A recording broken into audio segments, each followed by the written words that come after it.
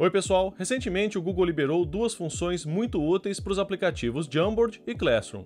Uma dá mais autonomia para o professor na hora de formatar as atividades dos alunos. A outra é um pedido antigo dos professores que ficavam meio perdidos quando todo mundo começava a escrever ao mesmo tempo no Jamboard.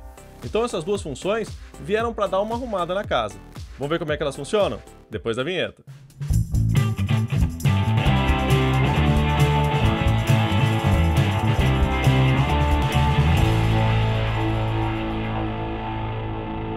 Bom, para quem ainda não é inscrito, vamos aproveitar esse comecinho do vídeo para se inscrever aqui no canal e ativar o sininho das notificações, porque olha só, pessoal, tem conteúdo novo por aqui quase todo dia. Então, não dá para perder.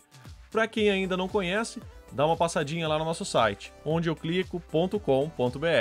Aqui você encontra tudo sobre tecnologia e educação e fica super bem informado. É verdade. Bom, pessoal, a primeira coisa que eu tenho para falar para vocês é que essas duas alterações, essas duas funções que foram adicionadas aqui aos aplicativos, elas estão disponíveis tanto na versão paga quanto na versão gratuita. Então, todo mundo tem acesso a essas duas novidades. A primeira delas diz respeito ao Google Classroom. Então, eu vou entrar aqui na minha turma de demonstração. Aí vamos supor que você quer escrever um recado para os alunos no mural. Você vai clicar aqui normalmente. E olha só, quando abre esse campo aqui para você começar a digitar o seu texto, aqui embaixo aparecem alguns itens para você poder formatar esse seu texto. Você pode deixar em negrito, você pode deixar em itálico, sublinhado, você pode acrescentar alguns marcadores, né, que são aqueles bullets que você vai determinando alguns tópicos. E esse último item aqui que é muito interessante, que é para remover formatação. Então vamos ver como é que eles funcionam. Então se você quiser editar um texto em negrito, você clica aqui em negrito, você digita em negrito. Não me diga! Em itálico, a mesma coisa. Você pode combinar as duas, deixar negrito e itálico, tanto faz. A mesma coisa acontece com o sublinhado e também com os tópicos, caso você queira adicionar. Então você clica aqui e pode ir adicionando os tópicos para formatar esse seu texto direitinho. Aí vamos supor que você está navegando pela internet, acha um texto interessante e aí você quer adicionar esse texto lá no seu mural. Olha só, eu quero colocar esse texto aqui, então eu vou copiar o texto normalmente e vou adicionar aqui no meu mural. Então eu simplesmente venho aqui e dou um Ctrl V. Então vejam só, esse texto veio aqui para o meu mural com a formatação lá do site. Se eu não quiser utilizar essa formatação e quiser eu mesmo formatar o texto, é só eu vir aqui em selecionar e clicar nesse botão aqui, remover formatação. Olha só, toda a formatação do site foi removida. Então aqui eu tenho o texto puro. Aí se eu quiser acrescentar a minha própria formatação, aí não tem problema. Eu posso vir aqui, selecionar essa primeira parte, colocar em negrito,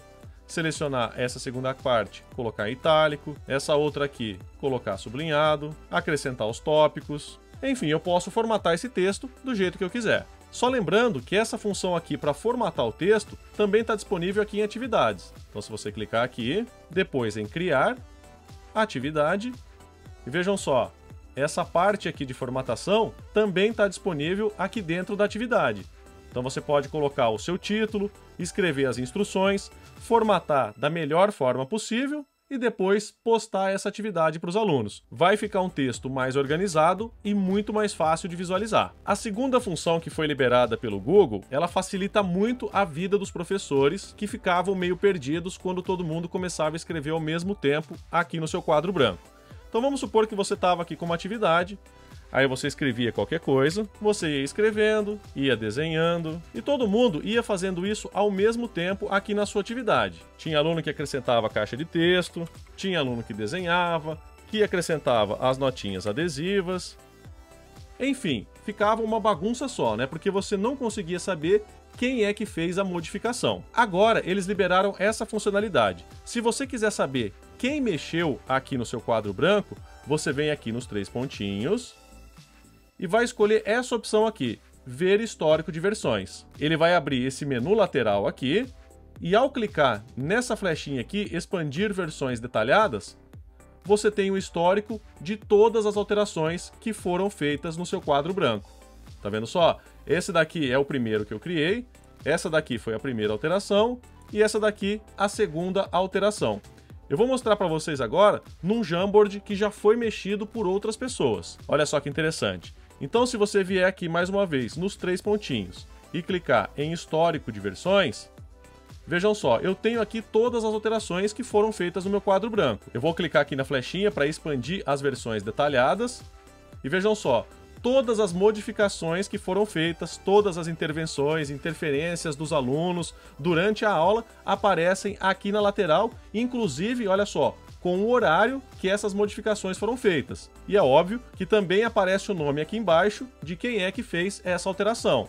Então, ao clicar aqui, você vai vendo todas as versões, tá vendo só? Todas as modificações que foram feitas pelos alunos, elas vão aparecendo aqui na lateral nesse histórico de versões. E aí você consegue ver o horário em que essa modificação foi feita e também quem fez essa alteração. Aí aqui você tem algumas opções. Clicando aqui nos três pontinhos novamente, você pode restaurar essa versão, porque pode ser que alguém tenha apagado por engano, então você pode vir aqui e restaurar uma versão antiga. Você pode nomear esta versão para ficar mais fácil de você identificar posteriormente. Então se você clicar aqui em nomear, aí você pode escrever. Olha só, eu já deixei aqui escrito Pedro alterou. Então, eu já sei que nesse ponto aqui foi feita uma alteração por um determinado aluno. Se você nomear, fica mais fácil de encontrar depois. E você ainda pode fazer uma cópia dessa versão. Então, se você clicar aqui, olha só, você vai dar um nome para essa versão, vai salvar no seu Google Drive. Se você quiser, você ainda pode compartilhar essa versão nova com as mesmas pessoas e vai clicar em OK. Então vejam só, caso você tenha perdido alguma atividade aqui dentro do Jamboard, porque algum aluno fez alguma alteração ou simplesmente apagou a atividade, você pode voltar aqui no histórico de versões e recuperar essa atividade. Então essa é uma função muito importante por duas razões. Porque você evita os acidentes, né? Caso alguém apague a sua atividade sem querer, ou até mesmo para aquele aluno engraçadinho que fica perturbando a sua aula aqui durante a atividade, escrevendo coisas inapropriadas. Então, essa é uma forma de você manter o controle.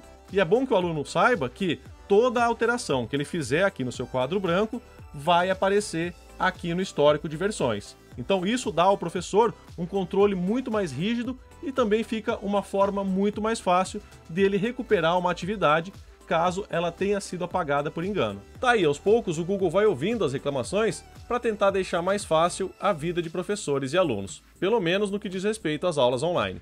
Tá bom? Espero que vocês tenham gostado. Se gostou, não se esqueça de compartilhar esse vídeo com os colegas.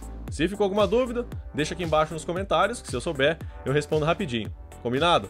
Aproveita esse tempinho agora para escolher um dos vídeos que estão aparecendo aqui na tela e eu te vejo na próxima. Tchau, tchau!